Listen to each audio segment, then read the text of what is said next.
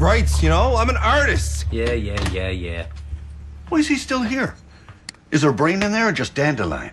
You pushed him off a building. Ah, wasn't that bad. He shouldn't be here. He could sue us. I gotta put him somewhere. Maybe, maybe I will sue you. And you know what? I'm hungry, so maybe you can give me some toast or a banana or eggs or something. Shut up. Why aren't you at school? I'm not feeling good. Woman trouble. Oh, really? That's the third time this month. Why don't you go to the clinic? Get right on that. Now, we have a client, remember? Dr. Nache in the other room.